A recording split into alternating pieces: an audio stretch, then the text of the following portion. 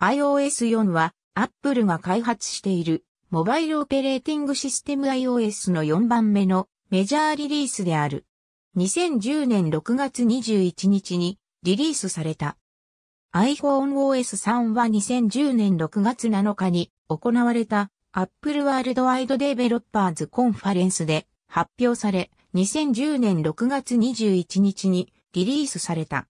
iOS4 は従来の iPhone OS という名称を廃止し、iOS としてリリースされた最初の iOS バージョンである。iPhone4 に標準搭載され、アップデートは iPhone 3G と 3GS、並びに第2世代以降の iPod Touch 用向けにリリースされた。ただし iPhone 3G と iPod Touch では一部の機能に制限がある。iOS4 とこれ以降のバージョンでは、アップグレード iPhone、iPod Touch ともにバージョンを問わず無料になった。iOS4 では、ホーム画面にホルダが導入され、表示できるアップの数が大幅に増えた。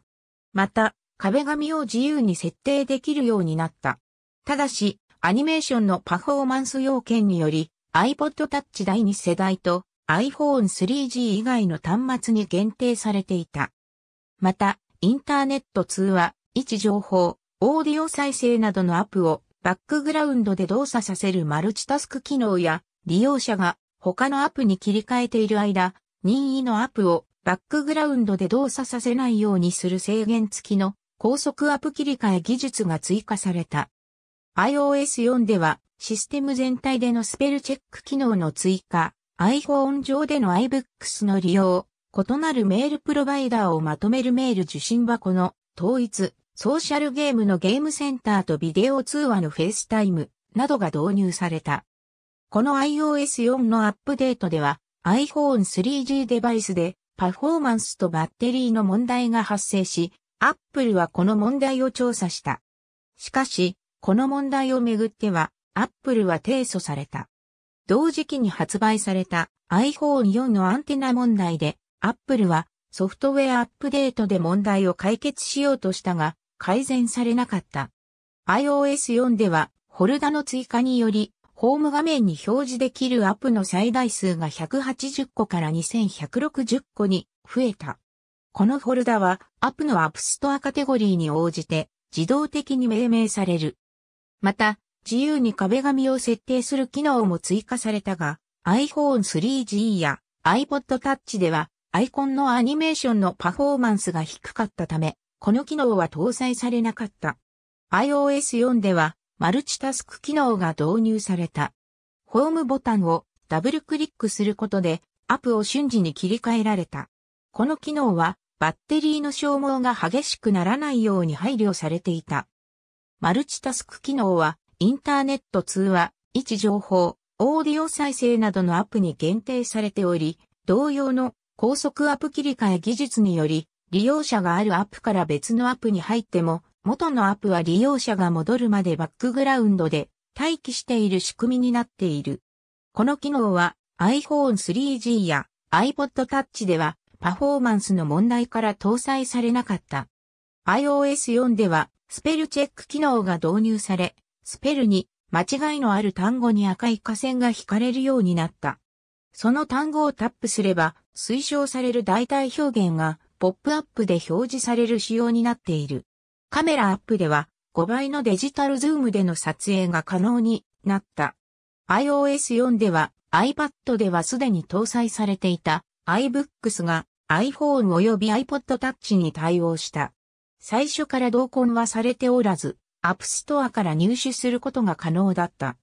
iOS4 ではメールアップに統合受信機能が搭載され、利用者のすべてのメールアカウントからのメッセージを一つの受信箱にまとめて表示できるようになった。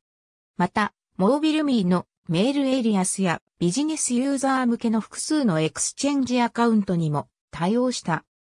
iOS4.1 では友人を招待してゲームをしたり、リーダーボードでスコアを比較したりできるオンラインマルチプレイヤーソーシャルゲームネットワークの Game Center という新しいアップが追加された。iPhone 3G は非対応だった。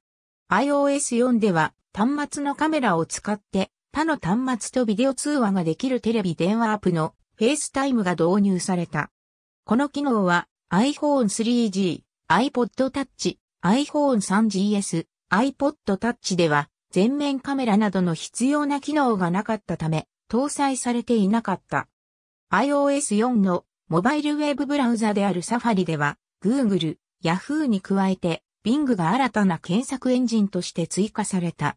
iOS 4.21からはページ内検索機能が追加された。